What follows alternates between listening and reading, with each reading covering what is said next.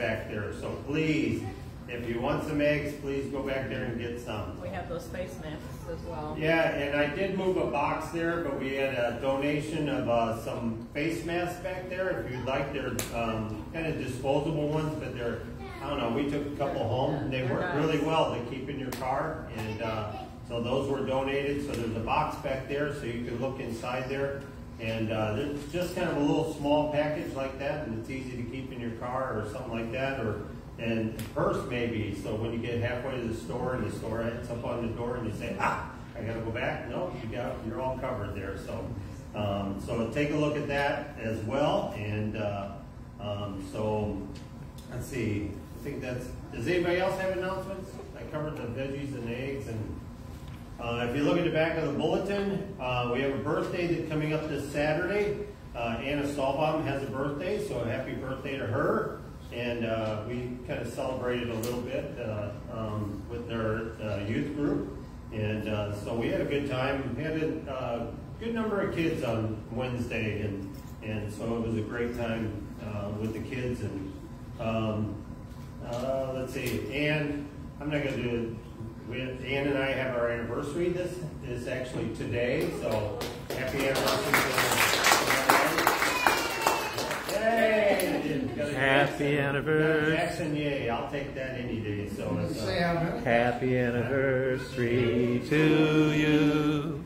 Happy anniversary to you. Happy anniversary,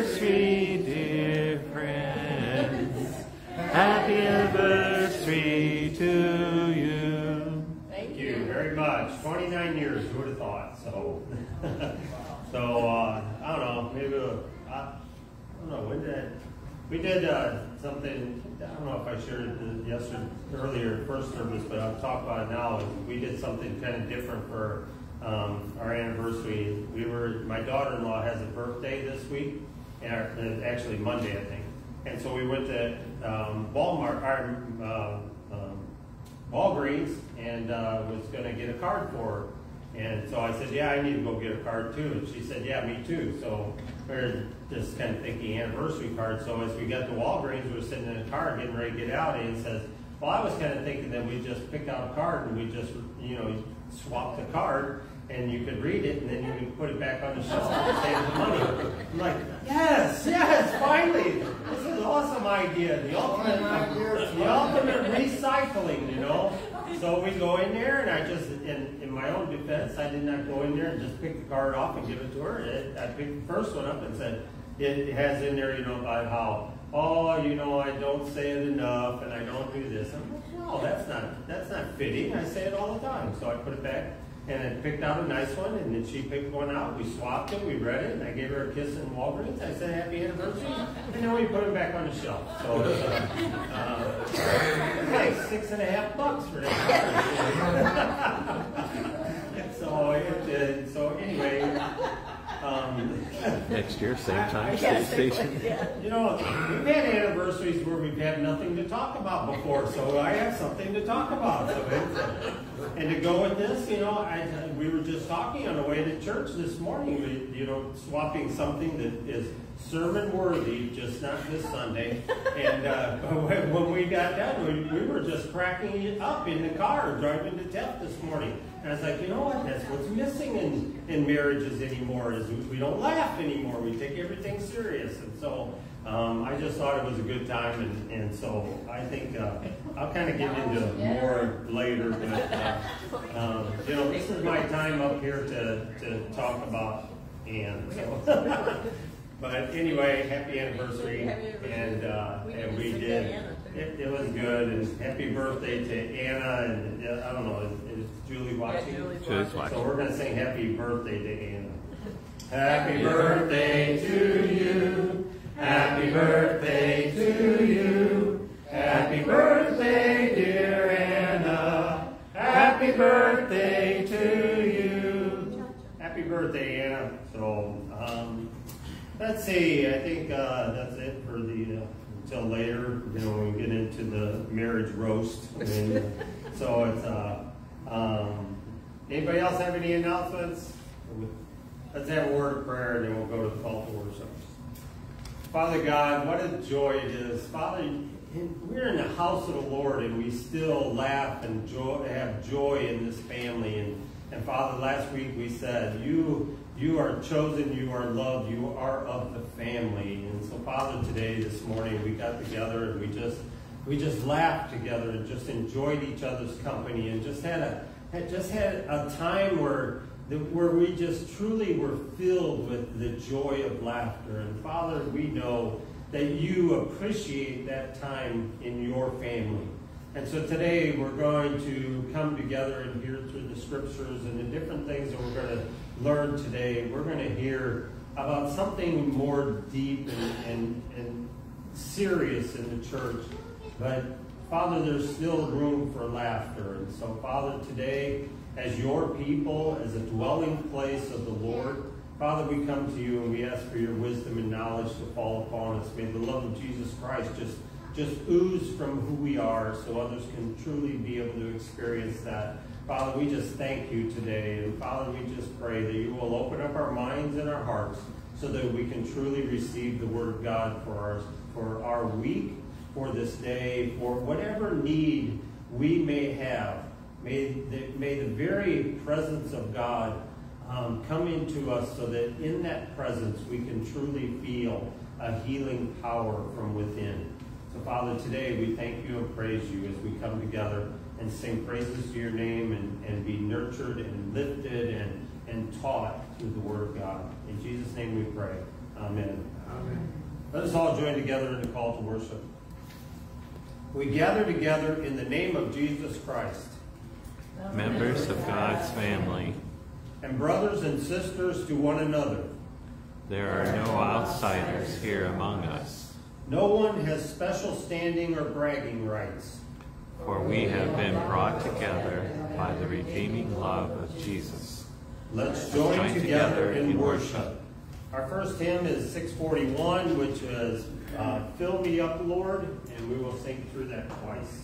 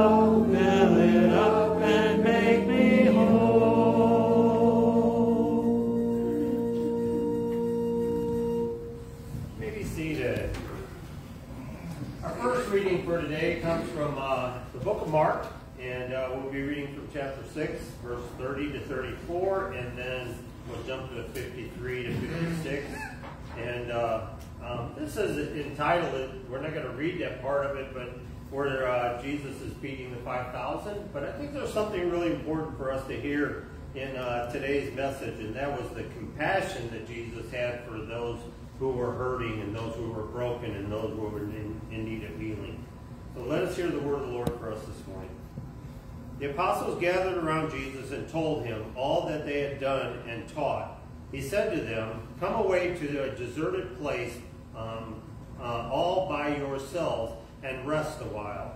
For many was coming and going and had no leisure even to eat. And they went away in a boat to a deserted place by themselves. Now many saw them going and recognized them. They hurried there on foot from all the towns and arrived ahead of them.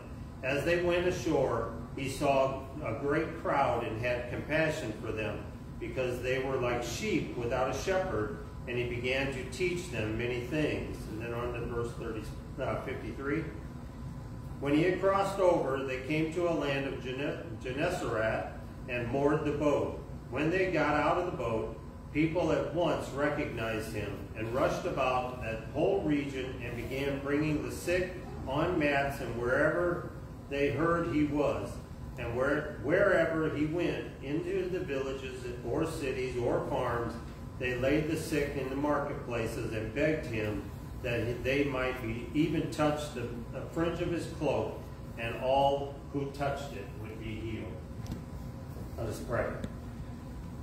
Father God, we just thank you this day that we know that sometimes we just need rest. We need to go to that deserted place. We need to find that place of peace. And so today, Father, we just thank you and praise you for the leaders of the church who stepped forth to allow the rest of others. And so, Father, today we ask for your blessing to fall upon those who um, step up in ministry and those who recognize the compassion that they have for others and most of all provide a ministry to uh, the ministry of Jesus Christ to the hurting. So Father, today we thank you and praise you. May you open up our hearts and our minds to reading and hearing of your word this morning. In Jesus' name, amen. amen. This is uh, next week. Ann and I are going to be taking a Sunday off. And uh, David Myers is going to be filling the pulpit. So thank you to David. David and Trish have gone away this weekend. And uh, so they will be gone, but he will be uh, preaching. And uh, so thank you to David. And um, I think Ann and I just kind of, I don't know where we're going to go. We were going to go this weekend, but I just think we just going to go to some deserted place. I don't know where that is, but uh, I'm not making any plans or anything. But uh, the maybe where I would have gone was might get squashed a little bit because of the rain that they're calling for next weekend.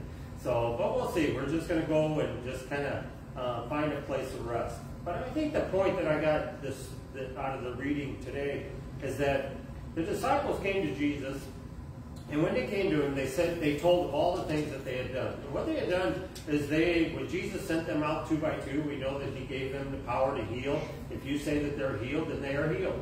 And so when they came back and they came to Jesus, they were telling him of all the things that they did. They, they were just as amazed and joyous and all the things that they were able to do for others who were hurting. And so they came and do that. And Jesus told them, he said, you know, he said, get in the boat and we're going to go away and we're going to go to this deserted place because I know that you've been so busy that you haven't even had the leisure of going to get something to eat. You've been sharing the ministry in the ministry of Jesus Christ, and so we're going to go away and you're going to do this. And, but what happened in this is I wonder what the disciples thought. Because as you read in the story, it says we're going to go away to this deserted place. You're going to have this time of rest. You're going to have time of peace. But as they, the boat was going along in the water, we also learned that there were people that recognized them.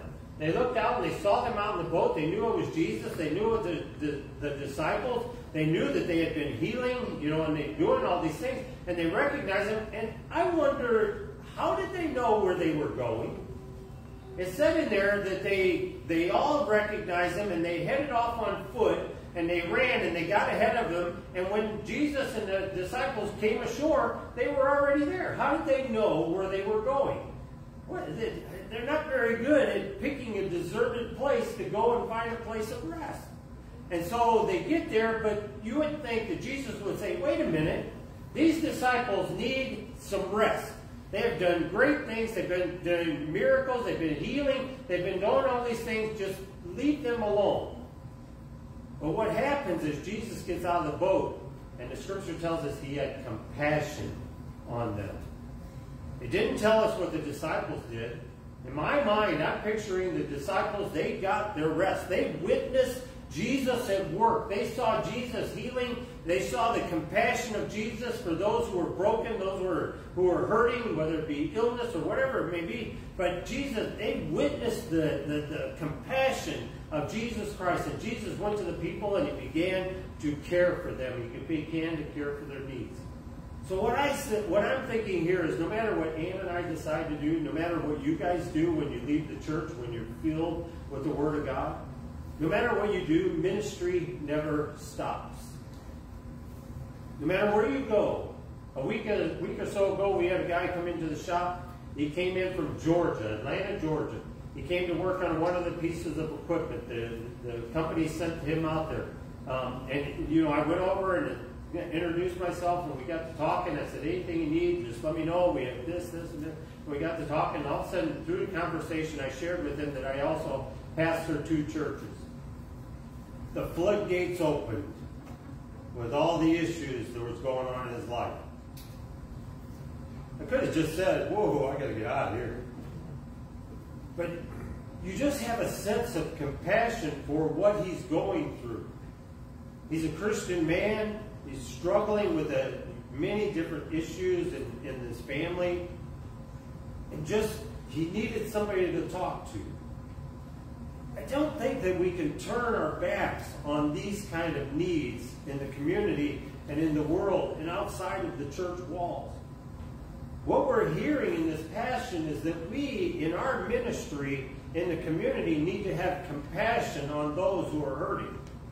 If we know of somebody who is hurting, we need to help take our friends to where Jesus is because Jesus will have compassion. See, ministry never stops. It's only when you keep it um, in, within yourself that them opportunities don't arise.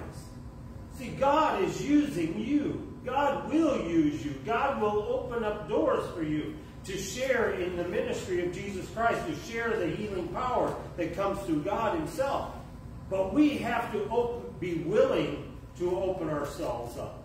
We have to be willing to share the Word of God.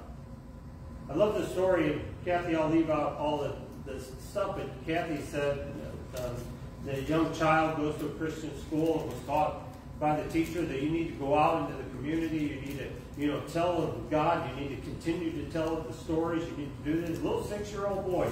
So he thought, you know, first thing I'm going to do is tell tell my best friend. And then he told us, kind of spilled the stories about Jesus and all this kind of stuff, and his friend said, I don't think so. He kind of walked away. He's kind of heartbroken. Went back to his mom and told her, Mom, I tried to sell a story and he did, my best friend said, I don't think so. His best friend was Jewish. But you know what I see out of this story? He was willing to go and tell the story. There's nothing wrong with either side of that. Either side, they have their belief. There's nothing wrong. Today we're going to talk about differences coming together in the love of Jesus Christ, not focusing on that difference. We're going to talk about all that today, and that, that's part of what I hear in that story, is that these two young boys are still going to be best friends tomorrow. Yet they don't necessarily agree. But I just hear them both now, out of one, you know, telling the stories of Jesus, and I hear the other boy telling the stories as he's been told. And there's nothing wrong with that. And I, these two boys are going to run and play and do all the things that they did yesterday. And I think that's a great lesson for all of us. No matter what our differences are, let us go out into the world and in the community and run and play and enjoy each other. Let's pray. Father God, we thank you and praise you this day for the opportunity to, to kind of go away in a deserted place and be able to, to just kind of rest from all that's going on. But Father, today, this day, we need to look at ourselves and be open to the fact that there are people that you place in our life who need to hear the Word of God. And we need to have the strength and the wisdom and the courage to do as that young six-year-old boy did. Tell the stories of Jesus. And maybe we will hear, I don't think so. But that's okay. At least you're telling the story. At least you're sharing in the ministry of Jesus Christ. But in that ministry, let us not forget that we all come together in one because of the love of Jesus Christ. No other reason than love of Jesus Christ. In Jesus' name we pray. Um, as we now come together in time of prayer, do you have any joys or concerns to share this morning? Frank? Uh, continue to pray for Talia. She's still. Leah?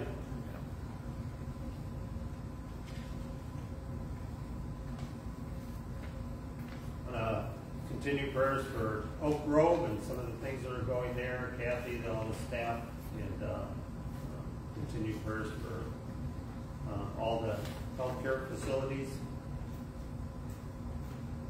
Carol with Carol Neal. Yep, Carol, continue prayers for Carol and Randy. Um, also, uh, Chuck had a pretty rough week this past week as well, so continue prayers for Betty and Chuck. And uh,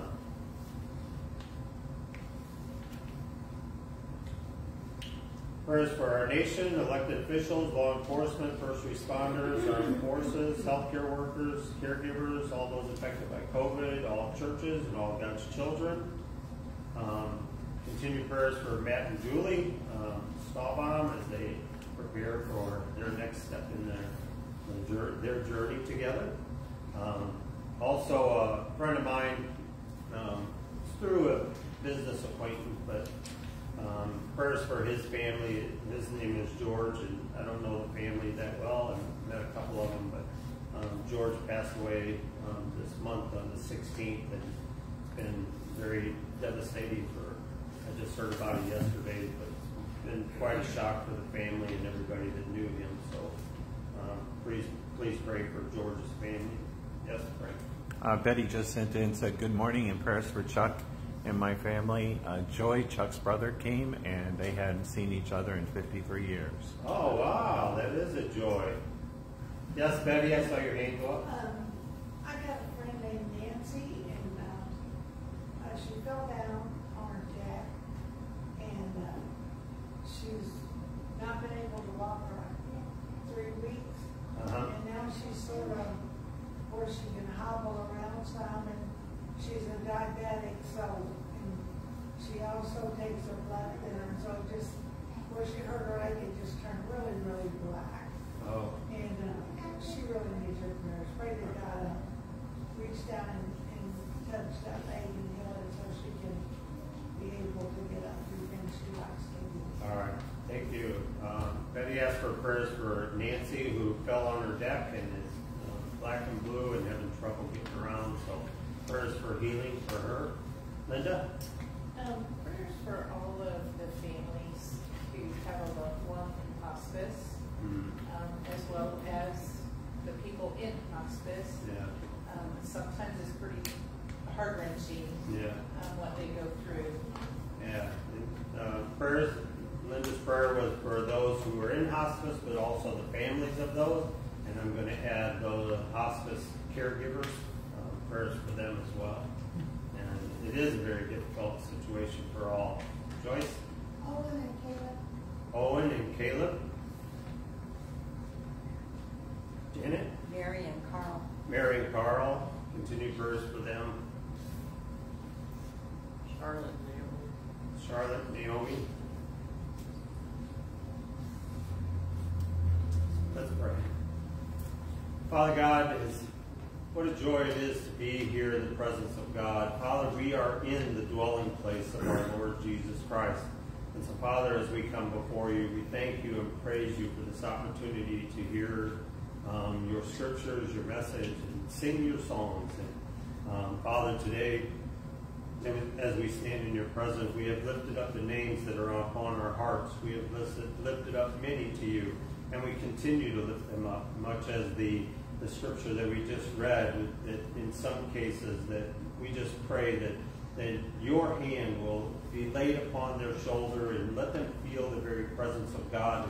May that, that healing touch come to them in whatever fashion that may be. Maybe a physical healing, like from a fall, maybe a, um, maybe a psychological um, healing from the, the stress of other things that are going on. Maybe it's a, a healing of having the right words and, and, and, and in a certain situation and helping somebody in hospice care. Father, all those things are just something that, that sometimes we just find ourselves in the middle of and, and we're not fully prepared. But today we just want to, to allow you and call upon you to, to be a part of us in, in each one of those situations because we know our ministry, you know, it goes much farther, much deeper than just these four walls. And so, Father, today we ask that you help us to be able to be what people need in the in, in the body of Christ in that struggle that they go through. And so today we come to you in a joyous um, uh, occasion in being able to uh, worship and be in fellowship with each other. But also, Father, we know there is a great need of, and uh, hurt within our our uh, community and our family. And so, Father, today we thank you and praise you for this opportunity to, to be in the house of the Lord and to lift up in one voice the prayer that you taught us to pray. Our Father, who art in heaven, hallowed be thy name. Thy kingdom come, thy will be done, on earth as it is in heaven. Give us this day our daily bread, and forgive us our trespasses, as we forgive those who trespass against us and lead us not into temptation, but deliver us from evil. For thine is the kingdom, and the power, and the glory forever. Amen. Our uh, scripture lesson for today comes from Ephesians, and uh, I will be reading from. I will be reading from the second chapter of uh, Ephesians in verses 11 to 22. And uh, the title of this part of uh, this part of the passage is that of uh, um, uh, Christ, one in Christ. We're all called together one in Christ. And that means all of our differences, all we are, those who have accepted Christ, those come into the body of Christ, are all one in Christ Jesus. And so that's what it's entitled. But I think there's something just something that we need to look for is that the peace that comes to us. The peace that comes in Jesus Christ. The peace that is offered for all of us. Not just me, not just you, not just those in the church, but that peace is for all of us. And that's what we're going to hear um, in the book of Ephesians today. Let us hear from the word of the Lord.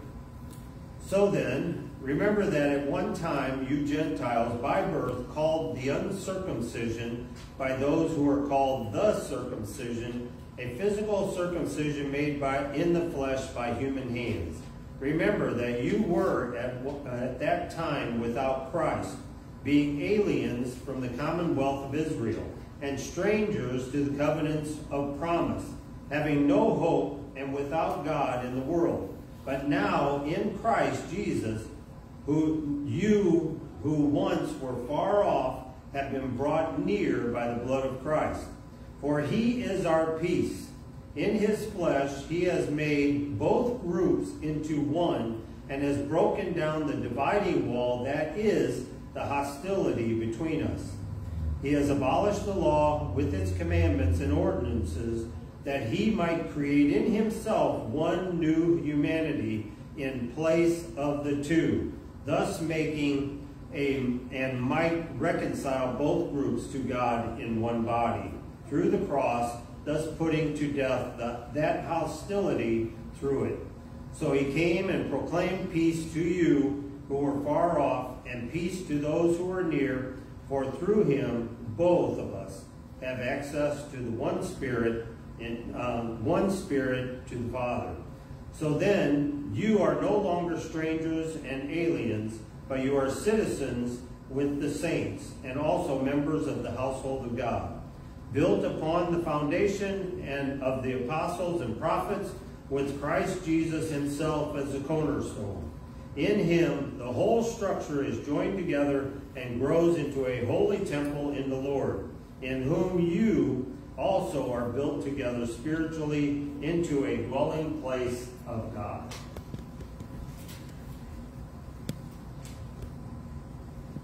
Let's pray.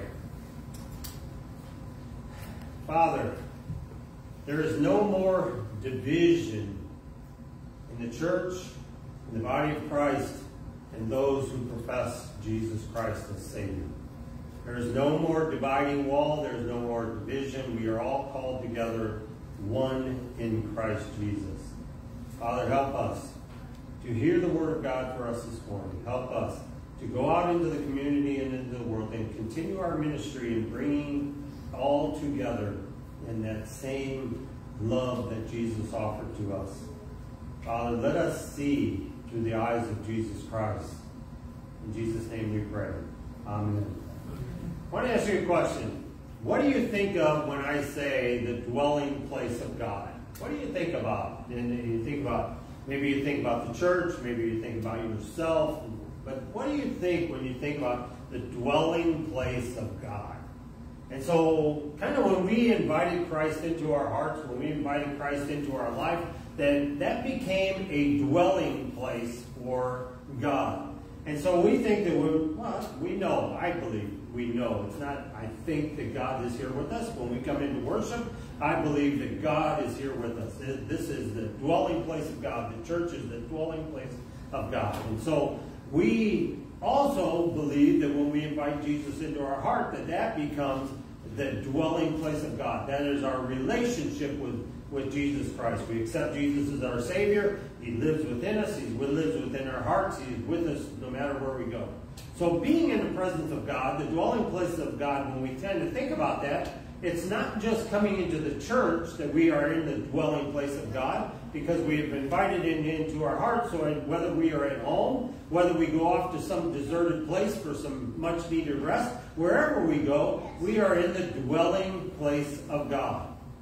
And I believe that we have to do that. So we, what we need to do is we need to look at others, whether it be in the church or out of the church, we need to look at others and say that those who are in Christ as well, no matter what the differences may be, that, no, that, that uh, they being in Christ, that we have all been called together in one, as one, in the body of Christ. And that doesn't matter what our differences are.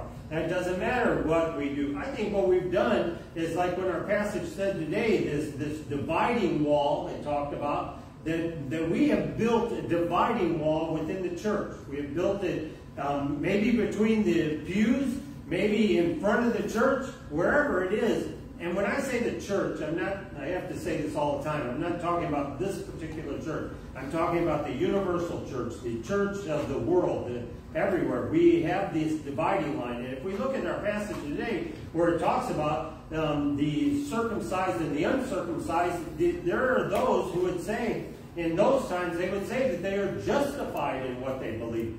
The scripture said on the eighth day you would go and be circumcised in, into the into the body. That's that's part of what the Bible tells us. And so now we have this circumcised and uncircumcised. And, and this passage says that the, those who are the uncircumcised, those who are the circumcised, we have this wall built between them. And that's part of the church at that particular time. And so when Jesus came into this, he said, it said in our passage, you know, through Paul, he says, I have come to abolish the law, even though we know that Jesus did not come to totally abolish the law, he came to fulfill it. In our passage, I was, you know, that I just read, maybe you didn't did or didn't hear, but he said, He has abolished the law of its commandments and ordinances that he might create in himself one new humanity in place of the two, thus making peace and might reconcile both groups to God in one body through the cross, thus putting to death the hostility through it. So what he's talking about is this division, this wall that is being built, this, and, and we'll label the wall as that of hostility. And so when I sit there and look at this dividing wall, this wall of hostility is this hatred that's building on, on both sides of the wall. Now we're, today, Ann and I are celebrating our 29th wedding anniversary. Happy anniversary to us. Who would have ever thought? But the relationship in, is, is, marriage is tough. And if you've been married, you, you have to agree to this. Marriage is tough. You have some tough places. I always describe my marriage as that's why I drive a four-wheel drive truck.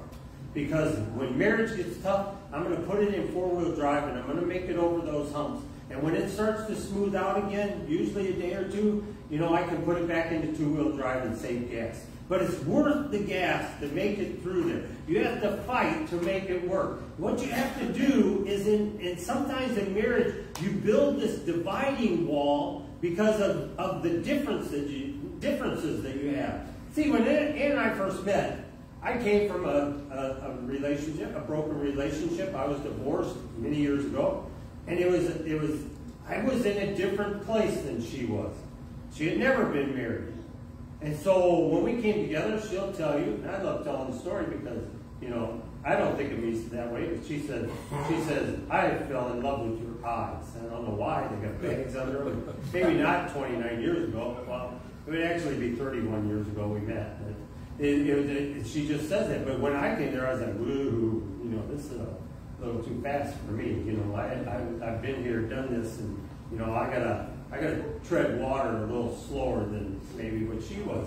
But she didn't express this. It didn't. I didn't feel overwhelmed or anything. But we were in two different places. But eventually, over time, we kind of came together. We fell in love, and I kind of caught up to her. We'll just say. And so it, it just came to a place where we fell in love. But what happens in, when you fall in love and, and you start hitting all these rocky roads, that sometimes I believe that what you do is you build a wall because of your differences. See, there was a lot of differences. We came from two different places. There was a lot of differences. But we came together and we embraced those because we fell in love, and out of the love, we enjoyed each other, even though we were different. But over time, as you spend time and you kind of get, really, you got to pick on me for that? You know, that's my difference. Get over it, you know, kind of thing. And so you build this wall, but what happens when you build this wall is that love ends up on one side, and hostility and anger, resentment, and all that ends up on the other side. And so what you do is that, that eventually that love begins to diminish, and the anger and hatred and resentment continues to grow. And if you don't deal with that dividing wall and knock it down by the love that brought you together, then it begins to separate you. And sometimes I think that the younger couples don't want to go through that. It's not worth the fight anymore. When I do marriage counseling, one of the things that I do in uh, counseling is I take the top 10 reasons for divorce and use that through the counseling. And one of the reasons I use that is because I try and help to recognize the pitfalls and the obstacles that are going to come in your marriage. And I think that's very important because what it prepares them for is dealing with that instead of building that dividing wall and eventually breaking, you know, ending up in divorce. And so I think that's very important. Some people think that, well, that's kind of harsh to start right there. But I think it's important. It's, in, it's to kind of recognize those pitfalls when they begin to happen. So, in that being said, there are times in your, in your marriage that things are really difficult. And the analogy I'm going to give you today is this that sometimes you can be, and because the guy is standing up here doing all the talking, yeah, it'll be kind of leaning towards the guy's point of view. So just, that's my point. Sometimes in marriage, it's like petting the belly of a lioness, and then all of a sudden she remembers it's feeding time, and she rips off your arm. That's how marriage is sometimes. I told you it's going to be a guy's point of view.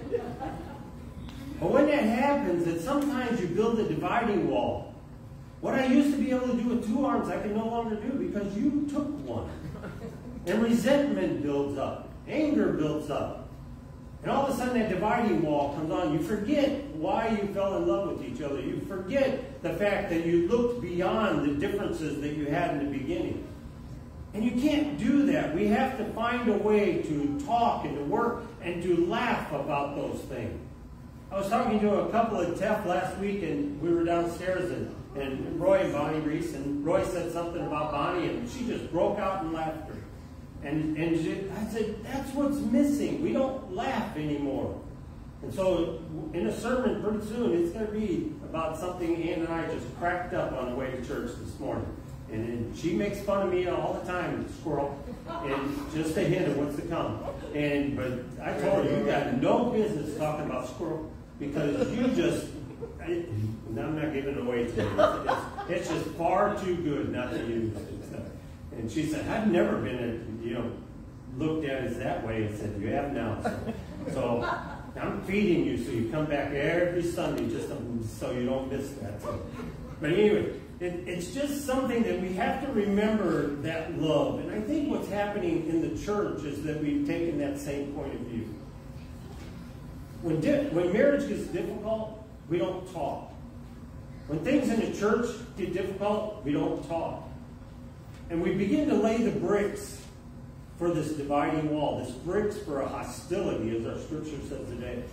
Instead of finding that we are all brought together in the same body of Christ, we are all brought together because we love Jesus Christ. The reason why we are here is because of our belief in Jesus Christ, our faith in Jesus Christ, the God who, who crucified his son so that we could be forgiven of our sins. All these things came together. That's why we exist.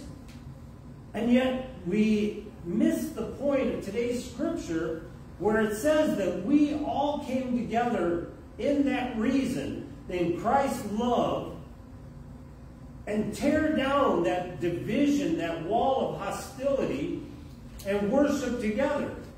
Why can't we worship together because of the one that came and provided the love for us? The very reason we are here. What we should be doing is not looking at why we, uh, why I disagree with somebody else, why I should build that wall, why I should no longer speak to you or hang out with you or do those things. Why? What we should be looking at is that looking through the eyes of Christ and saying that I love Christ, you love Christ, and we are here to worship Christ. We are here to praise the God that forgave us. We are here to praise the God that saved us. So let's build a wall of love instead of a wall of, of hostility and division and hatred. And I think what happens then, what we really need to do is look through the eyes of Christ Jesus. Go through all the Bible. There's many different stories and everything, the stories of Jesus were the, the, disciples witnessed to the things he did. Jesus never corrected anybody who was sinning. He never corrected them in a hostile way. He corrected them in love. He corrected them because he loved them. And he looked at them as, as someone that was worthy of his going to the cross. I think what our direction needs to be in the church is looking at each other as someone worthy of Christ going to the cross. Our focus must be that of looking through the eyes of Christ. See, when you look at what's going on, the, the circumcised, the uncircumcised, they had a reason for why they didn't get along, they didn't associate. They looked at the, the, the Old Testament laws, and they looked at it and they said, the Bible says this, so we just cannot hang around. We cannot do these things together. We cannot be a part of each other. Yeah, you can sit in the back of the church. Yeah, you can. Think about this for a moment. They, they were able to worship. They were able to worship God. You have the Gentiles, that's the uncircumcised. They were able to worship. They sat outside in the temple courts and listened to the sermons that was going on, listened to the reading of Scripture. They were there to worship, but they weren't allowed in the synagogue. This is where we have to grow in this love of Jesus Christ that came to us, is that we worship together. We sit in the same pews. We sit, sit in the same meal. We sit at the same restaurants. We do all the same things because we love God.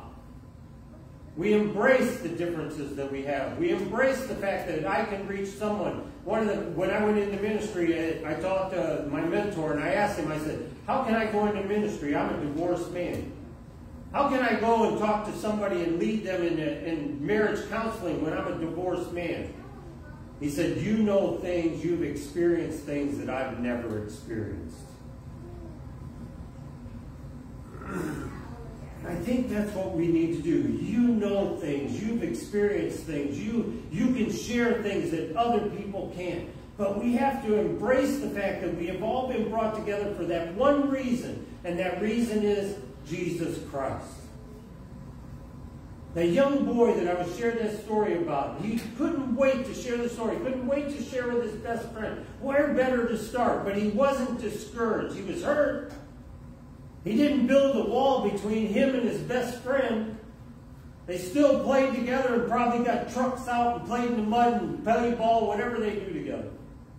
That's what we need to do. We need to embrace each other. We need to play ball. We need to get out the trucks. We need to put it in four-wheel drive. Make it through the rough times. Do whatever we got to do. But we need to know that we came together for one reason, and that one reason is Jesus Christ.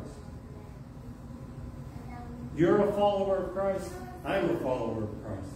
Christ has called us all into ministry with Him. When we go out into the community, we need to profess that faith like that young boy, that six-year-old boy. We need to say where we stand because there's someone who is hurting that needs to hear what you've experienced. Don't let it go to waste. Bad experiences are good learning lessons.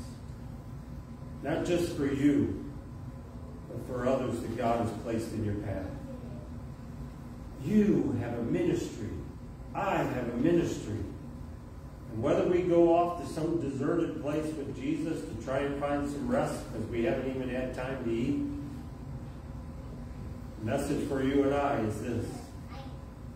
Peace is not just for you. Peace is not just for me. Peace is for all of us. And you can take that message and you can help bring peace to someone else who is going through a very difficult time. Let's pray. Father God, you have called us. Last week we heard you chose us, you called us, you loved us. We are of the family. Let us be a part of that family. Embrace the part of that family that says we all love Jesus together. Father, I know that there are people that come to church that don't haven't yet called upon the name of Christ Jesus.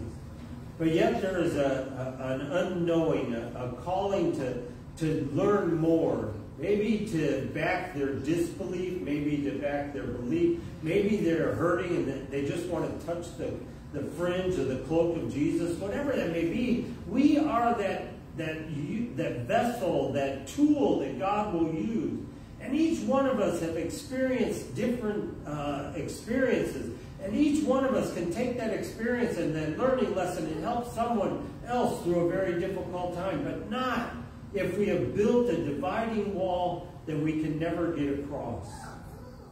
You have broken down that division by the love of Jesus Christ. You have fulfilled the law by bringing love and humanity back together. Father, we pray that this day that as we go out into the world, as we go out into the community, as we see people with pink hair and no hair or whatever it may be, maybe the pants almost to their ankles, I don't know. Whatever that may be, there are differences in the world.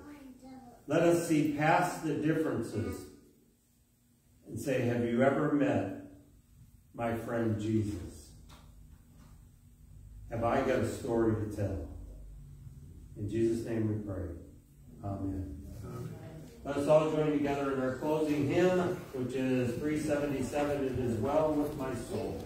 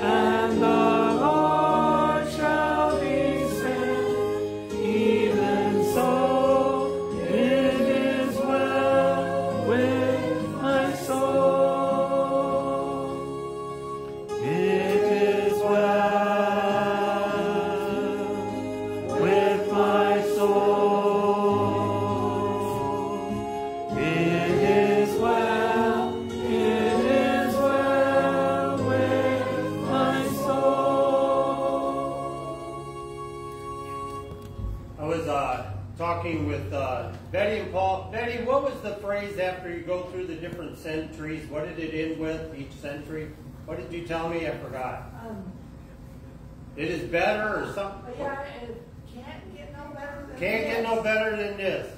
Betty and Paul went to Florida and they said they said there was this room that you go into and you kind of watch a thing and the and the, you're take you, you kind of turn and you go from one century to the next century. And at, the end of the one century, like when they finally you know got a say a washing machine or something, you know it, it would end with you, it can't get any better than this. And then you'd go to the next one and you had a ringer washer and it can't get any better than this. Then you go to the next one. And so I was just kind of thinking about what you said, and I was thinking about the, the scripture where we talked about the, the disciples and how they went to Jesus and were kind of bragging and talking about the things that did. Oh, we were filled with joy. And how in my mind I'm sitting there thinking how the disciples were telling Jesus, it can't get any better than this.